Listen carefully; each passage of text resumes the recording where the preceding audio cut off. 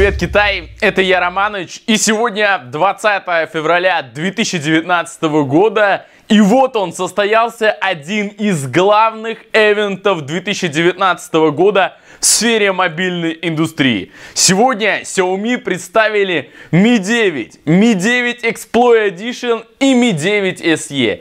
Это новые мобильники, это свежие мобильники, и это мобильники, которые брошены на борьбу с флагманами. И, честно говоря, после этой презентации у меня такое послевкусие, что пока эта компания рвет в клочья абсолютно всех.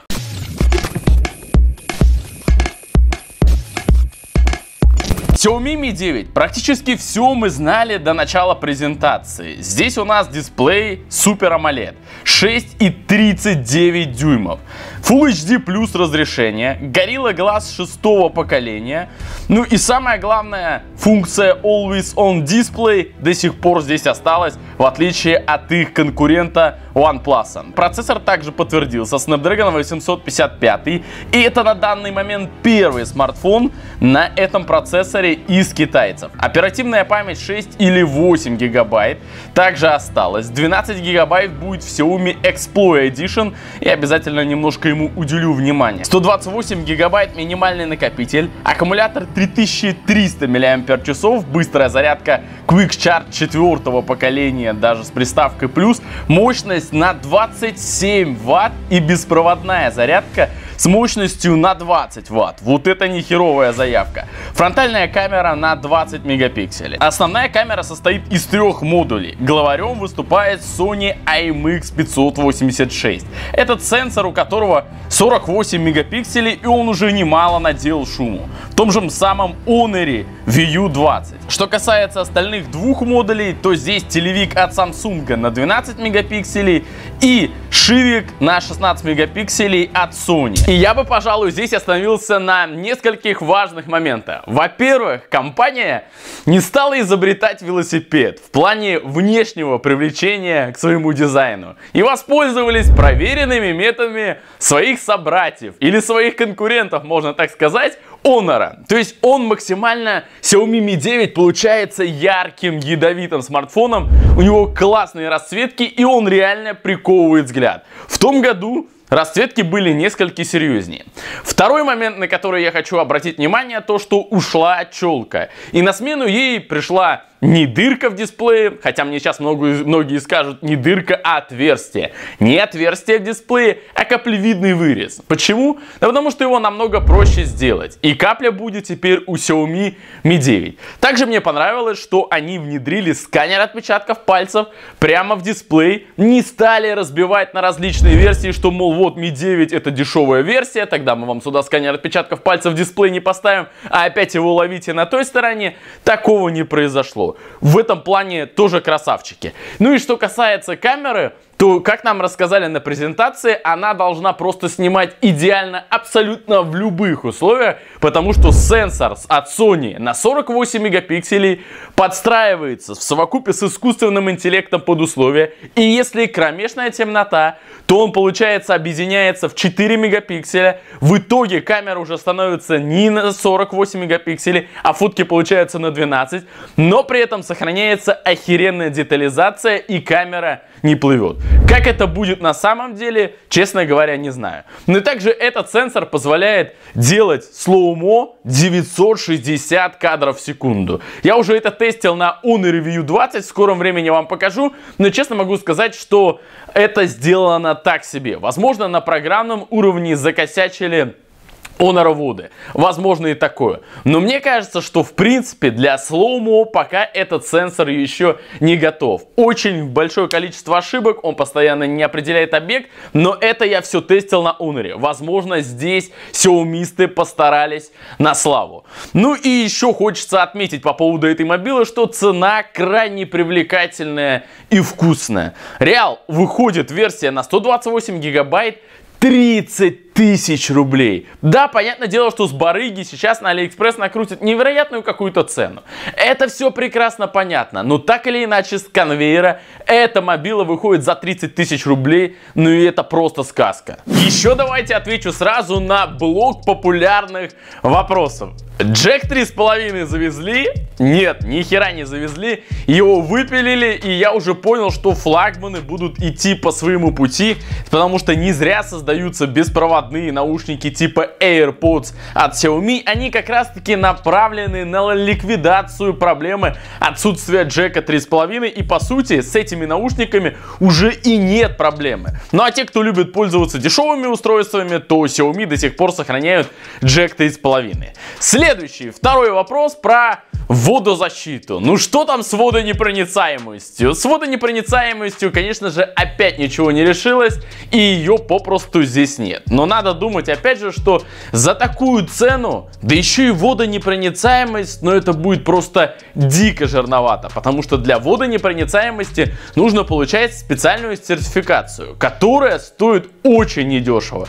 Ну а для этой сертификации достаточно серьезные требования. Еще, конечно же, будет популярный вопрос по поводу стереозвучания. Ну, вроде уже 19 год, но наконец-таки стереозвучание это должно появиться.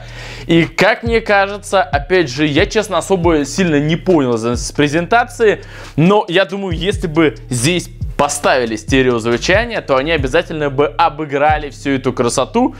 Ничего в презентации о стереозвучании не говорилось, соответственно, я думаю, что по факту его опять же не будет. Ну и последнее, 4K 60 FPS это то, что не хватает во флагманах Xiaomi, хотя у OnePlus того же самого при процессоре Snapdragon 845 в том году они спокойно делали 60 FPS, Xiaomi этого не делали. Насколько я понимаю, и в Snapdragon 855 и в Xiaomi Mi 9 пока в данный момент 60 FPS не привезли, но возможно на программном уровне доработают и за момент того, как он будет существовать, подъедет в какой-то прошивке. Но это точно вообще не точно.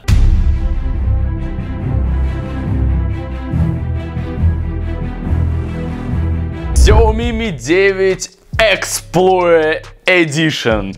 И главное отличие от обычного классического Xiaomi Mi 9 это в первую очередь дизайн.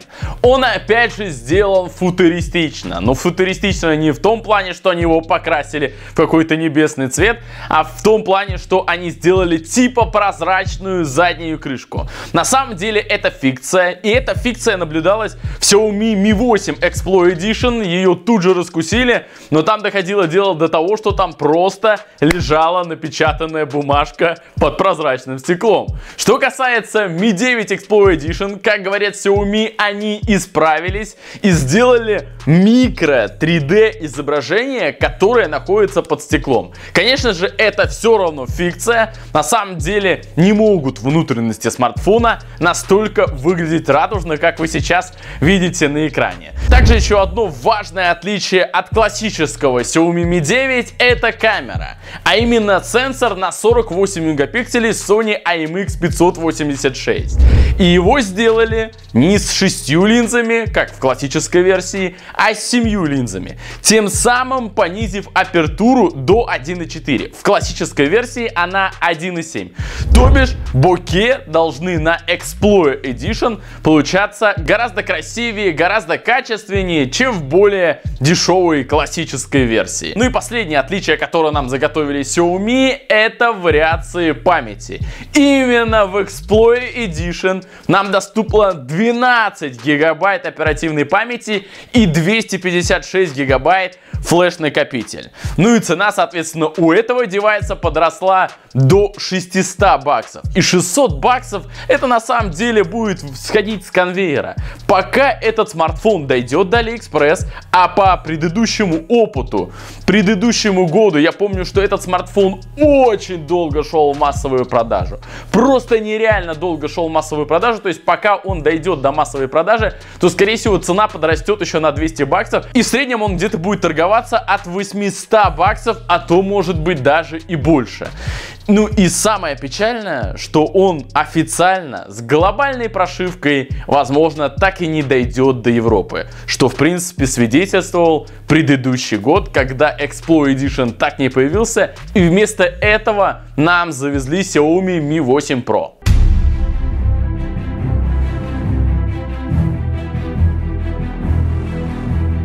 Xiaomi Mi 9 SE. Это тот смартфон, который вас 100% удивит. То есть, если вам до этого, что я сейчас рассказывал и перечислял, показалось лютой скукотищей, которую, в принципе, и так все понятно и известно, то Mi 9 SE держался в тайне. Он ровным счетом так же неожиданно вышел, как и Mi 8 SE на предыдущей презентации ровно 9 месяцев назад. Она состоялась 31 мая 2018 года. И тогда все охерели. Как так? Xiaomi решили все-таки выпустить малую версию своей мобилы, при этом поставив туда топовый процессор.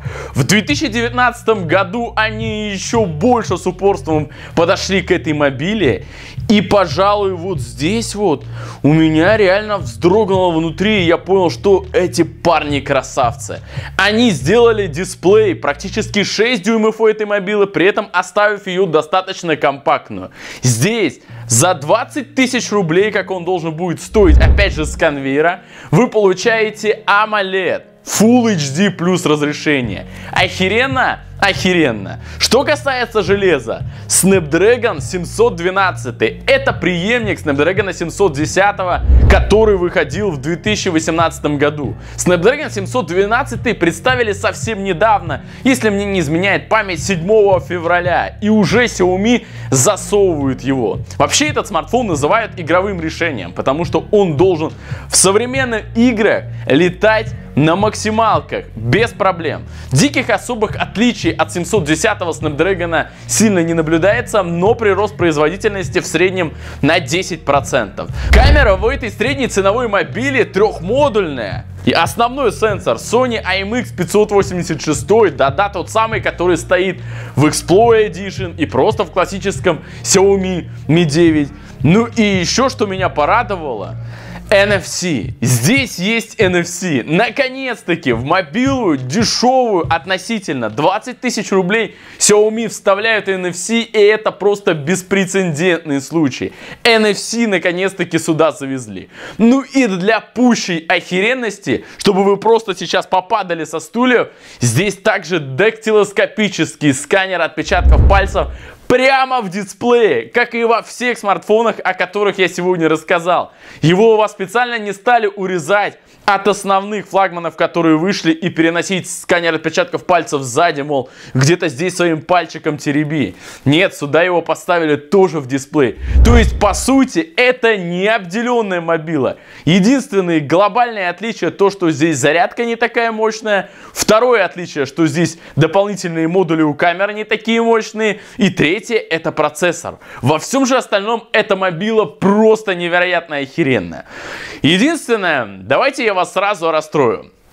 По опыту Xiaomi Mi 8 SE, который выходил в 2018 году, этот смартфон так и не добрался до международной глобальной продажи. Этот смартфон так и остался на уровне Китая.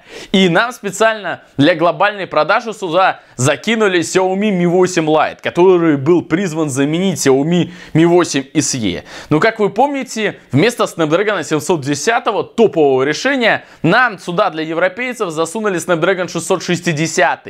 И нас потихоньку вот так вот обделили. То же самое, мне кажется, будет и Xiaomi Mi 9 SE. Скорее всего, до глобальной продажи он не дойдет. Конечно, можно будет заказать на AliExpress, сюда его затащить. Да, с горем пополам, скорее всего, вы накатите глобальную прошивку с FOPA, Но, скорее всего, у вас не будет работать NFC, потому что сертификацию от Гугла данная мобила не будет получать. Ну зачем им получать, если они будут использовать NFC у себя там в Китае и совершенно в Китае сертификация от Гугла не нужна. На этом сегодня и все. Это была презентация Эвен 2019 года от 20 февраля от Xiaomi. Кстати, следующая презентация запланирована в Барселоне на 24 февраля. Они уже анонсировали, говорят, мы для европейского рынка какие-то представим новинки, посмотрим, что они закатят. Все эти мобилы в данный момент, которые я перечислил, актуальны для Китая. Возможно, они когда-то появятся и в глобальной версии, ну, Mi 9 точно, конечно. А вот Explorer Explorer Edition и SE, ну здесь огромные вопросы. Огромное спасибо, что смотрели. Пишите ваше мнение в комментариях. Подписывайтесь на канал, ставьте на колокольчик. Все, давайте, красавцы. Пока.